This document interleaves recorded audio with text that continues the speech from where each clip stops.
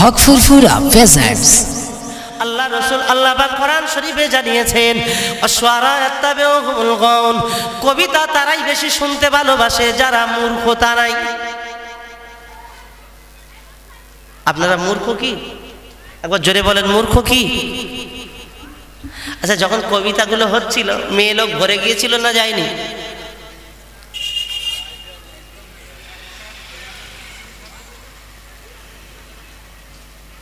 তাহলে ওই কাজটা ভালো হলো না খারাপ হলো? কোরআন শরীফে এসেছে, আল্লাহ পাক রব্বুল আলামিন বলেছেন যে কবিতা তারাই শুনতে ভালোবাসে, যারা মূর্খ তারাই। না, আমরা যদি মূর্খ হই তো শুনব। আর যদি বলেন, না, আমরা মূর্খ নই, তাহলে এই কাজ থেকে করে ফেলেছি। কি করা যাবে? তওবা করে নিতে হবে, ক্ষমা চেয়ে নিতে হবে। এক বছর করে ফেলেছেন, আগামী বছরে যেন এরকম না হয়। এই মজলিসে যদি নারীরা ভরে যায়, তাহলে আমি এতটুকু বলতে পারি, ফাংশানে গান হলেও তো নারী পুরুষ এক জায়গায় হয়, কি হয় না হয় না? সেইটা একটু ঘুরিয়ে মেরেছেন, ওটা ফাংশান না, এটা একটা গজল কবিতা, এই গজল নাম, নবীর নামটাম ওর ভিতরে রয়েছে, আরে গানের ভিতরেও তো নবীর নাম আছে আছে না না? অনেক গান আছে, সেখানে আল্লাহ নবীর নাম রয়েছে। তাহলে কবিতার ভিতরে আল্লাহ নবীর নাম আছে। তাহলে বিষয়টা তফাত আমি আপনি কি করব। তবে সেই গজলগুলো শোনা চলে, যে গজল শুনে আল্লাহর প্রেম আরও বেশি হয়। বলুন না সুহান সব গজল, সব কবিতা শোনা হারাম নয়। সেই কবিতাগুলো, সেই গজলগুলো শোনা হারাম। যেগুলো শুনলে দুনিয়ার প্রেম এবং দুনিয়ার নারীর প্রতি আসক্তি বেশি হয়, সেই গজলগুলো শোনা হারাম। মনে থাকবে? আমার এটা দায়িত্ব ছিল বলার, তাই বললাম। রাগ করলেন নাকি? রাগ করলেও কিছু করার নেই। বলতে তো হবে। এখন যখন ভালো হওয়ার জন্যে ওয়াদাবদ্ধ হয়েছেন, তাহলে সব দিক দিয়ে ভালো হতে হবে। কি ঠিক কি না? ভালো হওয়ার জন্য যখন ওয়াদাবদ্ধ হয়েছি, তাহলে সব দিক দিয়ে ভালো হতে হবে। যারা গজল টজল বলতে আসে, দেখেছি, আমি সকলকে খারাপ বলব না। কিছু দেখেছি, তারা জীবনে নামাজ কালাম তো করেই না, মুখে দাড়ি টাড়ি নেই, কিন্তু গলার সুর ভালো, চাহিদাও বেশ দারুণ। আমি সেই সমস্ত ভাইদেরকে বলব, তোমরা গজল বলছো বলো, আমি মানা করব কিন্তু গজলগুলো রসুলের প্রেমের গজল বলো। আল্লাহর প্রেমের গজল বলো। যে গজল শুনলে মানুষের হৃদয় আরও নবীর প্রেম ভরে উঠবে। সেই গজল বলো, সেখানে আমার সহযোগিতা কেন? আল্লাহ পাক বলেছেন, সেই গজলের স্থানে আল্লাহর রহমত হবে বলুন না সুহান আল্লাহ এই যে কবিতাটা বলছিল, ওটা প্রেমের কবিতা বলছিল? আল্লাহ রসুলের সাহাবি হজরত ওমর রাজি আল্লাহ তালা যে কবিতাটা শুনলেন, ওই কবিতাটা প্রেমের না আল্লাহর প্রেমের? ও তো দুনিয়ার প্রেমের কবিতা বলছিল। মেয়েটি ওই সময় বললেন ও মার ও মা ঠিকই বলেছেন, আমি কবিতা বলছিলাম, আমি অন্যায় করেছি। আমি যে গান বলছিলাম, আমি অন্যায় করেছি, ঠিকই। কিন্তু আপনার কাছে একটা কথা আমি জিজ্ঞাসা করব। আমি অন্যায় করেছি বটে, কিন্তু আপনি তো অনেক অন্যায় করেছেন। আপনি চার চারটে অন্যায় করেছেন। আমি একটা অন্যায় করেছি, আপনি চারটে অন্যায় করেছেন। আমি একটা কবিতা বলে অন্যায় করেছি, আর আপনি চারটে অন্যায় করেছেন। কে আপনি আপনার পরিচয় আমি জানি না। কে আপনি, আপনার পরিচয় আমি জানি না। আপনি একটা যুবক আমার ঘরের ভিতরে প্রবেশ করেছেন। আমি আগামীকাল খলিফাতুল মুসলিমিন, আমিরুল মুমিনিনের দরবারে বিচার দেব। আল্লাহ পাক যদি আমাকে বাঁচান, খলিফার দরবারে আমি বিচার দেব। কেন আপনি বিনা অনুমতিতে আমার ঘরে প্রবেশ করলেন? আগে বলুন, আমার ঘরে প্রবেশ করার অনুমতি কে আপনাকে দিয়েছে? আগে বলতে হবে। আল্লাহ পাক রব্বুল আলামিন কোরআন পাকে জানিয়েছেন, কারের ঘরে বিনা অনুমতিতে প্রবেশ করা যাবে না। আমি একটা পরনারী আপনি একটা পুরুষ মানুষ, আমার ঘরে প্রবেশ করলেন কেন? এক নম্বরে বিনা অনুমতিতে প্রবেশ করেছেন। আমি একটা অন্যায় করেছি আর আপনি অনেকগুলো অন্যায় করেছেন।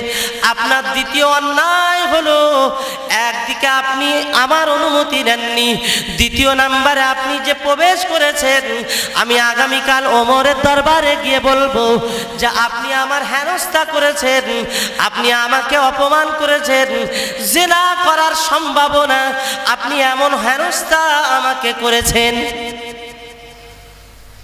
হজরত অমর চমকে গেছে সর্বনাশ। সত্যিই তো তাই? আমি তো বলে ঢুকিনি। আর এদিকে, এটা উনি যদি আমার নামে দোষ দিয়ে দেয়, যা আমার হেনস্থা করার জন্য এসেছিল, তাহলে তো আমি তো বিপদে পড়ে যাব। হজরত আমার রদি আল্লাহ আনহু বললেন কি আমার অপরাধ পেয়েছ বলো? মহিলাটি ওই সময় বলেছিলেন আমি কোরআনের হাফেজা। আল্লাহ আমাকে কোরআনের হাফেজা বানিয়েছেন আল্লাহ পাক রব্বুল আলামিন। আমাকে কোরআনের হাফেজা বানিয়েছেন। আমি কোরআন পড়ে যতটুকু অনুভব করেছি, তাতে করে আপনি একটা মারাত্মক অপরাধ করেছেন। সে অপরাধটি হলো, আপনি আমার সামনের দিক দিয়ে সামনের দরওয়াজা দিয়ে আসেননি। পিছন দিক দিয়ে আপনি আমার ঘরটা ভেঙে এসেছেন। আমি ওমরের দরবারে এমন বিচার আপনার বিরুদ্ধে জানাব। হযরত ওমর রাদিয়াল্লাহু তাআলা আনহু চিন্তায় পড়ে গেলেন। মহিলাটা জিজ্ঞাসা করলেন, ঠিক আছে, আমার বিরুদ্ধে আর কি তুমি বিচার দেবে বলো? বলে, আমি বিচার দেব এটাই যে আমি যে এই যে গান বলছিলাম, এই যে গানটা আসলে কি? এই গান সম্পর্কে আমি জানি। না জেনে তুমি আমার উপরে তহমত দিচ্ছ কেন? তুমি ধারণা রাখছো, আমাকে না জিজ্ঞেস করে উল্টো ধারণা করছ কেন? এর জন্যে তুমি বড় অপরাধী। কে তুমি? তোমার পরিচয় দাও আমাকে। আমি অমরের কাছে গিয়ে বলব। ওই সময় হজরতে অমর ফারুক রাদিয়াল্লাহু তাআলা ওই মহিলাটি লক্ষ্য করে বললেন, ও মেয়ে ও মহিলা ও মহিলা, আজ আমার পরিচয় তোমাকে দেব। তবে আমার পরিচয় দেওয়ার আগে আমি একটা কথা জিজ্ঞাসা করি। তুমি যে কবিতাটা বলছিলে একা একা, ওই কবিতার অর্থ আমি সত্যিই বুঝিনি। কবিতার অর্থটা আমাকে বোঝাও। মহিলাটি ওই সময় বলেছিল, আমার কবিতার অর্থ অন্য কিছু নয়। আমি বলেছিলাম, আমি যেটা বলতে চেয়েছি, ও রাব্বুল আল্লাহ, আমার জীবনটা তোমার রহমতি কোলে আমি দিতে চাই। আমার জীবনটা তোমার রহমতি কোলে আমি আল্লাহ কাটাতে চাই আল্লাহ পাক, তুমি আমার জীবনটা তোমার রহমতের কোল থেকে আমার বঞ্চিত করো না। জোরে বলুন, আরও একবার জোরে বলুন সুবহান আল্লাহ আরও একবার জোরে বলুন সুবহান আল্লাহ আপনি মনে মনে ভাবছেন যে আমি কোনো পৃথিবীর কোনো যুবকের কোলে আমার জীবনটা কাটাতে চাইছি। আসলে এটি নয়, আমি চেয়েছি আল্লাহ রহমতের কোলে আমার জীবনটা কাটাতে চেয়েছি হজরতে ফারুকে আজম উমর রাজি আল্লাহ মহিলার কাছে পরিচয় দিলেন, ও মহিলা, আমি অবাক হয়ে গিয়েছিলাম। যে না জানি আমার দেশে এমন গান বাজনা চলছে, আমার দেশে এমন কবিতা গান বলছে, সেজন্যই তো আল্লাহ পাক রব্বুল আলামিন গান হারাম করে দিয়েছেন আমার আল্লাহ পাক নিজেই। তাই আমি আমি অবাক হয়েছিলাম যদি এটা গান হয়, আমি আল্লাহর কাছে জবাব দিতে পারব না। আমার পরিচয়টা আমি অন্য কেহ নয়, আমি আমার নিজেই, আমি খলিফাতুল মুসলিমিন, আমি নিজেই। আমার আল্লাহ পাক আমাকে এই জামানার খলিফা বানিয়েছে ও যুবক ভাইরা আমার আজকে আব- আপনাকে আমি বোঝাতে চাইছি দুনিয়ার মাটিতে অন্যায় এতভাবে অন্যায় বেড়ে গেল, এতভাবে অন্যায় বেড়ে গেল। সমাজের আজকের নেতারা, তারা কান বাজনা দিয়ে মানুষকে আকর্ষণ করে। সমাজের নেতারা আজকের মানুষের কাছে নাচ দিয়ে মানুষকে আকর্ষণ করে। আজকের মদ দিয়ে মানুষকে আকর্ষণ করে। সমাজে আজকের মানুষকে ঘর দেব বলে চুরি করে টাকা দিয়ে মানুষকে আকর্ষণ করে। ও জোয়ান যুবক ভাইরা আমার, কিন্তু আশ্চর্যজনক বিষয় হলো, একজন টুপিওয়ালা নামাজি দিনদার আল্লাহওয়ালা পরিবারের কোনো সন্তান যদি হয়, সেখানে মদ দিয়ে তো আকর্ষণ করবে না, গান বাজনা দিয়ে আকর্ষণ করবে না, যে আমার দিকে এসো, গান দেব, নারী নিয়ে নাচাবো, এমনটি কিন্তু হবে না। আল্লাহ পাকের ওই মাহবুব বান্দাদের পরিবারের সন্তানটা আগিয়ে আসলে, আমরা দেখতে পাবো কি জানেন? আল্লাহর পক্ষ থেকে আল্লাহ পাক একটা ভালোবাসা জন্মে দেবেন। নামাজি পরিবারের, নামাজি সন্তানের আল্লাহ পাকের নবী দয়া, নবী বিশ্ব, নবী বলেন, ইমানদারের টুপির প্রতি ভালোবাসা হয়, ইমানদারের দাড়ির প্রতি ভালোবাসা হয়, ইমানদার নামাজের প্রতি বড় ভালোবেসে ফেলে, ইমানদার সেই ভালোবাসায় কোনো টাকায় নয়, ইমানদার বিনা টাকায় তার দিকে ভালোবেসে ফেলে। জোরে বলুন, আরও একবার জোরে বলুন সুবহান আল্লাহ ইমানদার বিনা টাকায় ভালোবাসে, ইমানদার ইমানদারকে যখন ভালোবাসা হয়, দাদা হুজুর রহমাতুল্লাহ আলীকে আমরা ভালোবাসি, টাকায় ভালোবাসি, না আল্লাহ পাওয়ার জন্য ভালোবাসি? জোরে বলুন। আল্লাহ পাওয়ার জন্য। কেন এত ভালোবাসতে হবে কেন? আমার দাদা মরে যাচ্ছে, আমরা আমাদের দাদু মরে যাচ্ছে, মাহফিল দিই না, কিন্তু গ্রামে মাহফিল দিচ্ছি, লিখছি, দাদা হুজুরের স্মরণে। করি না করি না। এ ভালোবাসাটা কোন ভালোবাসা? এ ভালোবাসাটা আল্লাহ দিত ভালোবাসা। এই ভালোবাসা টাকা দিয়ে পাওয়া যায় না। আর এটা কেউ ছিনিয়ে নেওয়া যায় না।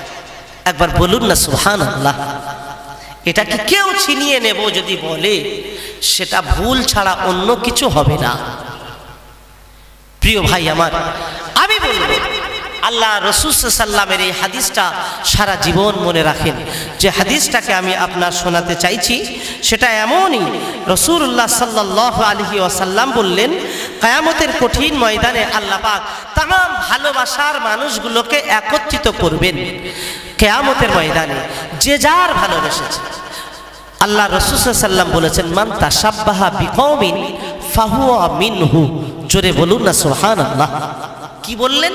তুমি যাকে ভালোবেসেছো, যে কওমকে, সেই কওমের সাথে তোমার হাসর নাসর হবে।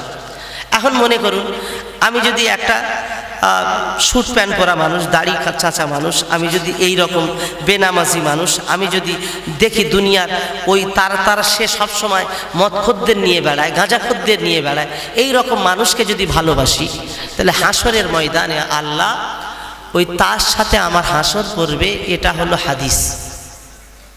আল্লাহ রসুল বললেন, তুমি যদি একজন নামাজি লোকে সবসময় ভালোবাসো, তুমি যদি একটা দিনদার লোকের মহাব্বত করো, তার ভালোবেসে যদি চলো, তাহলে হাসরের ময়দানে তার সাথে হাসর নাসর করবে।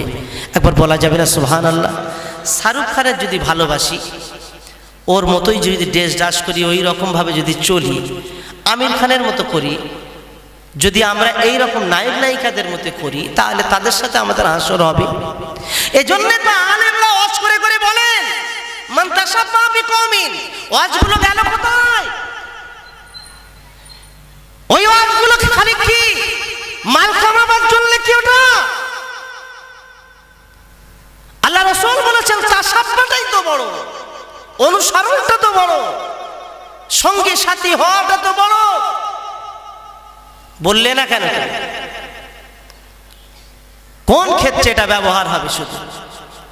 এটা কি মসজিদের ভিতরে থাকার জন্য অতটুকু সীমা? আল্লাহ রসুল সাল্লাহ আলী আসাল্লাম ইনি রসুল্লাহ বলেছেন, তোমরা এমন তাসাব্বার মানুষ হও, যে তাসাব্বাটা কেয়ামতের ময়দানে তোমাকে নাজাদ করিয়ে দেবে। জোরে বলুন না সোহানা আমি পারিনি আমি পারিনি, হয়তো নামাজি ওই রকম হতে পারিনি টুপি ওই রকম পরতে পারিনি, বা ওই রকম দাড়িও রাখতে পারিনি। তাহলে কি হবে? আল্লাহ রসুল পাক জমানে জানিয়েছেন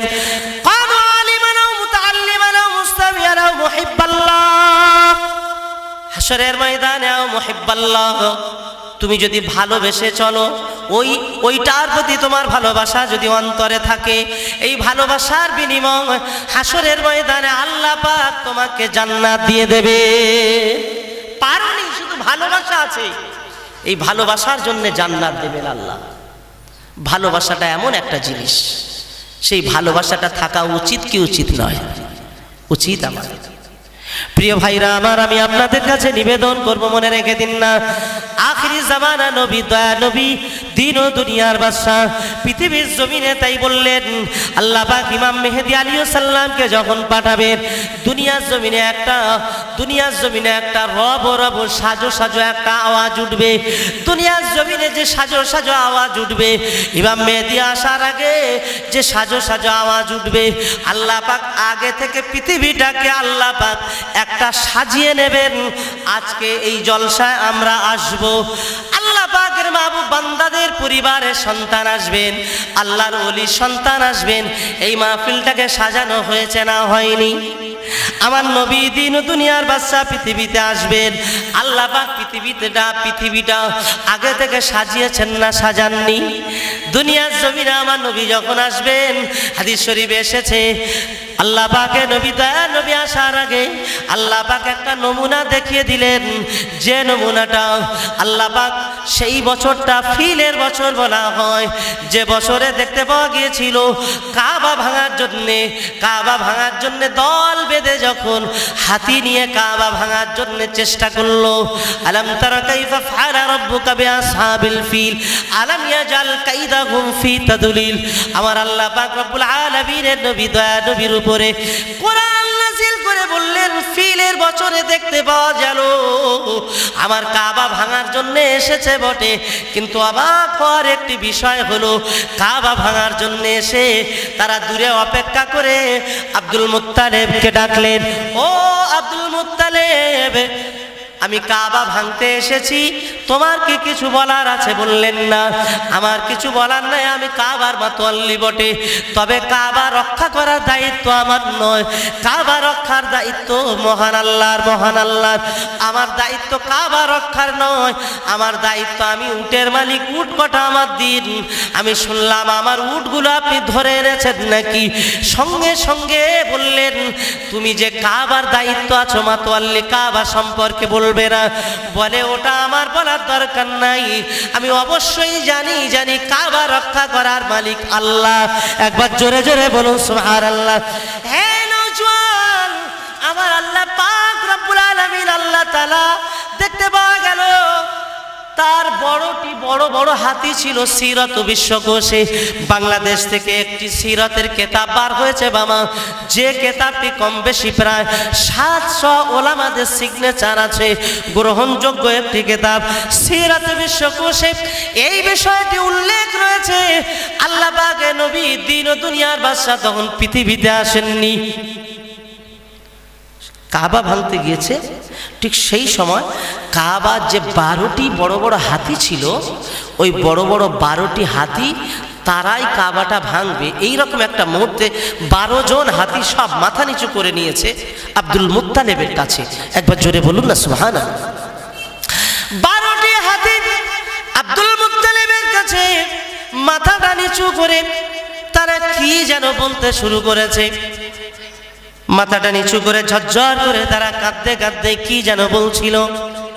এই কথাটি বাদশাহ জিজ্ঞাসা করল, আপনার বাদশাহ জিজ্ঞাসা করল, ও আব্দুল মুত্তালেব, একটা কথা বলব, আমার হাতিগুলো কেন মাথা নিচু করল?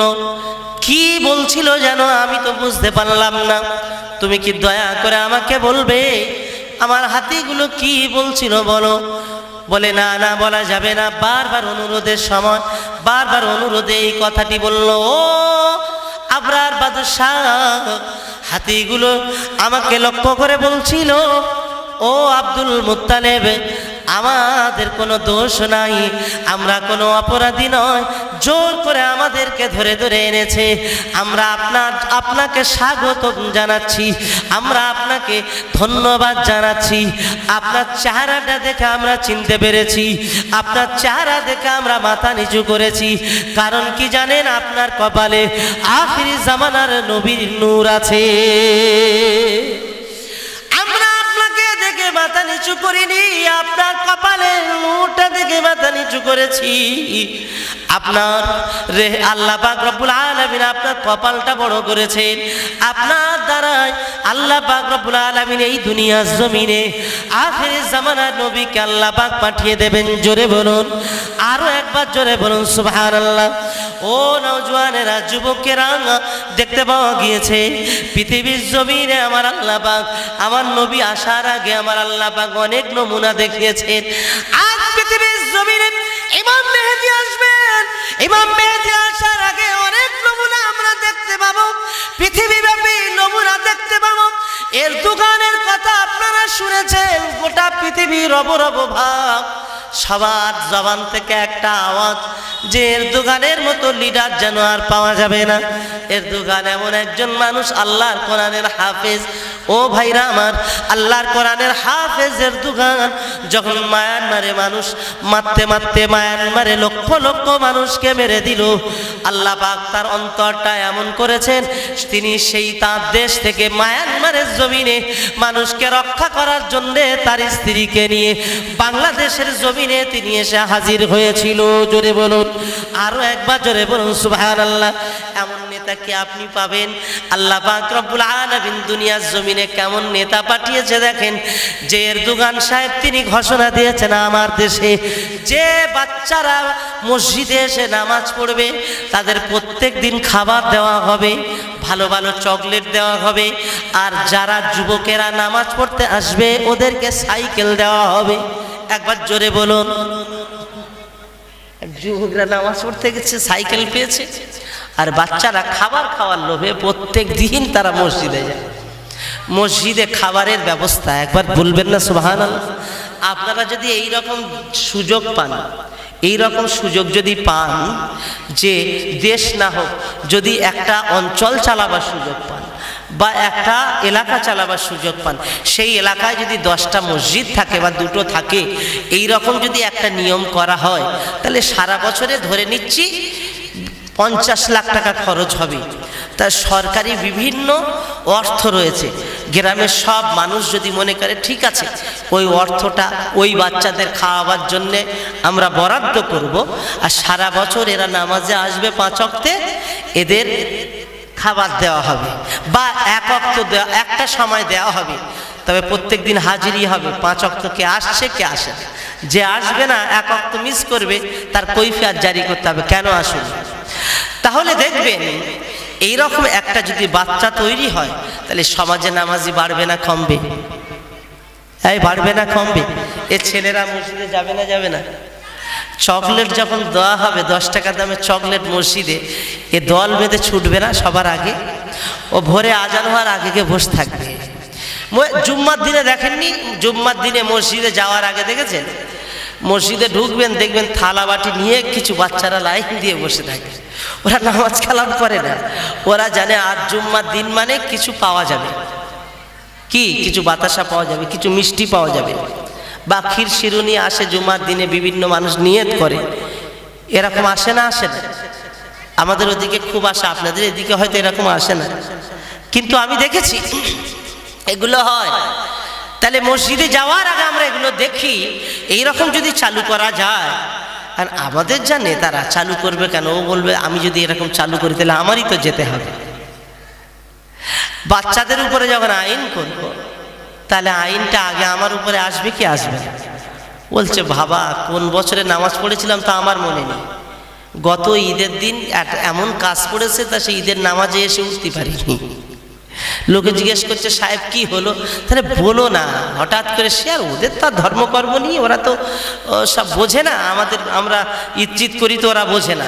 মানে বিভিন্ন অজুহাত দিয়ে কাটিয়ে দিচ্ছে। দেশ সেবা চলছে। নিজের জীবনের সেবা চলছে না।